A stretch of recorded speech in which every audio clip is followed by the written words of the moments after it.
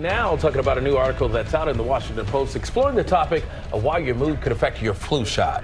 so interesting. Ah, well, listen, this is not myth. This has to do with the, how powerful the mind body connection is.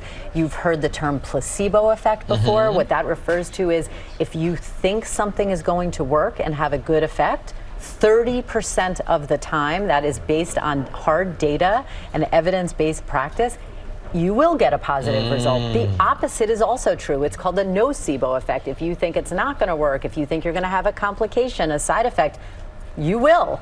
Um, but when you're talking about the flu shot and its efficacy, I just recently got my annual flu shot. I encourage everyone here. to go and get it. It is not too late. We have flu all year round in this season um, and definitely until April.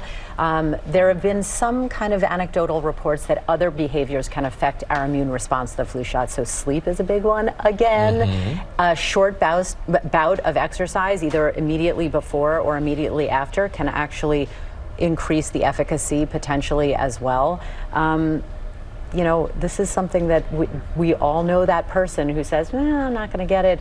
I will tell you the only patient under my care in the hospital who ever died, died of complications of influenza. I take it very, very seriously. I saw you post that, and that is absolutely shocking. And there are people out there who believe that the flu shot will somehow give them the flu, and you say that is categorically a myth. It's not scientifically possible because it is not live virus, and it does take about two weeks to get the full protection. You, of course, can be exposed to the flu at the moment you walk In in. the window, That's yeah. Right, and get it, and it can be coincidence. Um, and also, a lot of viral infections may seem really bad and might not be actual influenza.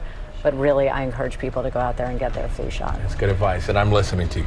I'll do it this friend. week. Well, hey there, GMA fans. Robin Roberts here. Thanks for checking out our YouTube channel. Lots of great stuff here. So go on, click the subscribe button right over right over here to get more of awesome videos and content from GMA every day, anytime. We thank you for watching, and we'll see you in the morning on GMA.